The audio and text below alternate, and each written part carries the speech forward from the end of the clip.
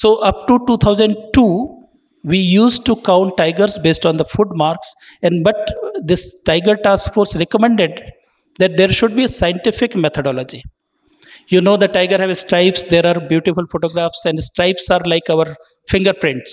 They never change. So now, basically, kind of Aadhaar biometric details of tigers are collected. Their photographs are taken. A whole country is divided into two square kilometer of grids. A pair of camera is placed. These cameras are automatic. When the tiger moves in front of the camera, their photographs are taken. We collect this photograph, and other than tigers, also we collect. So this 2018 uh, 22 estimation was phenomenal